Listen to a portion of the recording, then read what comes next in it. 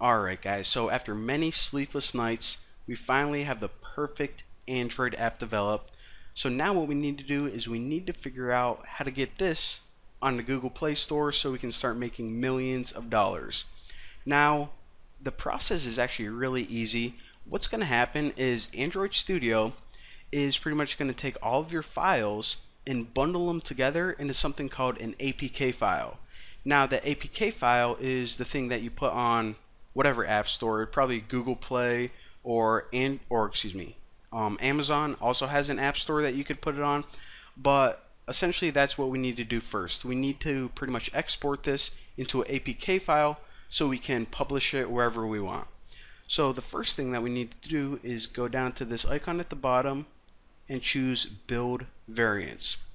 So whenever we were just developing the app, what we did is we were building it in debug mode.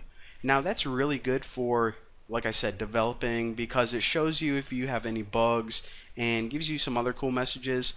But now, once you're ready to actually build the final release, click on this and change it to release.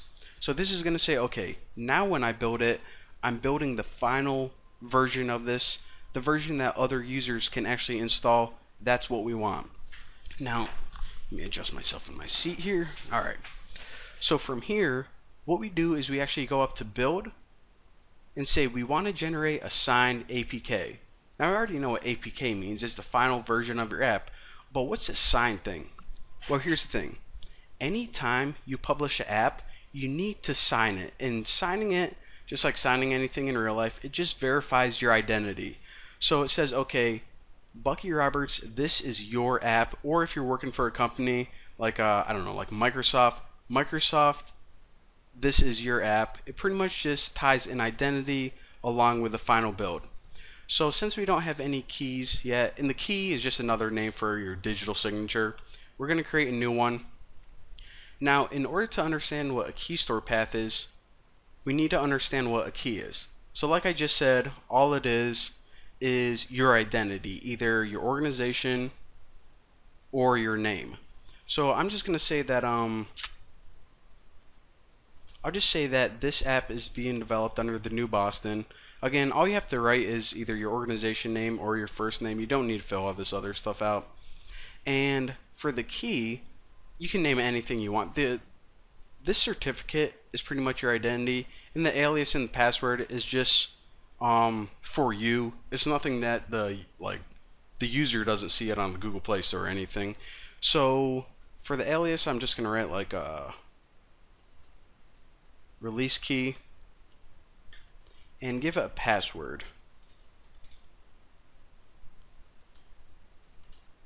And for the validity, it's always good to have 25 years. Um, don't do anything less than that. Actually, I think Google recommends 25 years. So this is pretty much setting up your identity. And remember, to uh, it's always a good idea to write down your password and your alias because later on, if you ever want to update this app, it's going to ask for your password to verify that you are indeed the owner. So if you lose this, then you actually need to delete your app from the App Store and republish an entirely new one. So again, that's why you have to set all this up. So that's your key. So what the heck is this key store stuff? The key store is just a file that contains all of your keys, all of your signatures. So I know it's kind of weird, but uh, hey, um, you have to yell, like yell at Google or whoever made Android Studio. So for the key store path, click this button right here. It says where do you want to store the file that's going to hold all of your keys. Well, I already made a directory on my desktop called Final Apps, and you can name it anything you want. I'll just write like key store. And this file is encrypted, so if you were just trying to look at it in Notepad or something, it would like look like weird hieroglyphics.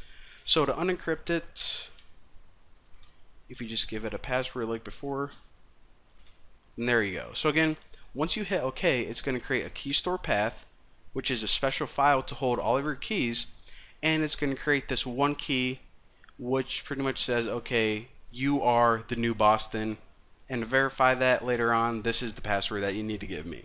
So hit OK, and now it automatically fills out all your stuff for you so just hit next and just hit OK. And uh, alright, so you're trying to build a final version and of course, where do you want to put it? Actually, you just want to put it no, not there by default. So I'll put it in Final Apps and build type release and everything else is good by default. And it really doesn't matter where you put it, but uh, put it somewhere that you can remember and click finish.